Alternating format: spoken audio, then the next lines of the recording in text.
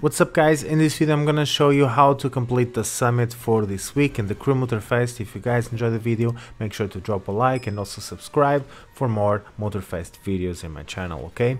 So before we start with the summit, there's a couple things I want to say and then um, I will just show you the gameplay of me completing it and how you can do it with the best line possible okay?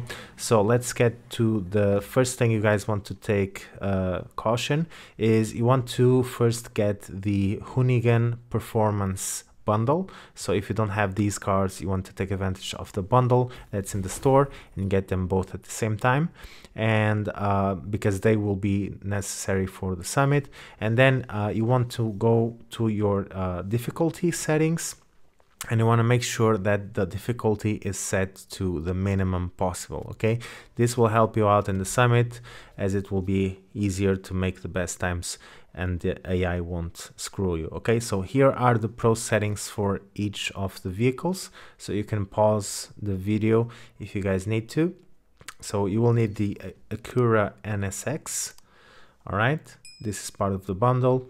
You also need the McLaren P1 and these are the settings. Also the next one that you will need is the Bugatti 110 all right? This is the fastest hypercar and it will be really useful for one of the events and also for the escape. Um, you will need the Corvette C8 okay? So this is just standard tune. No need to change anything on the vehicle. Um, the pro settings are the default ones. So you can use this one or the regular C8 if you don't have the Donut Media playlist completed. And then last but not least you'll need the Ferrari 458 Italia.